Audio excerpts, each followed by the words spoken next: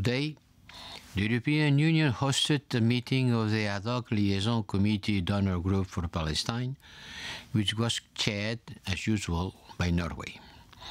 This is a unique policy coordination forum where both Israel and the Palestinian Authority sit around the same table with major international donors. Here, the Israelis and Palestinians work together with key donors to help create the conditions for a viable two state solution. Our message from this meeting is clear and simple. At this critical juncture for peace in the Middle East, both parties must avoid unilateral steps and resume dialogue.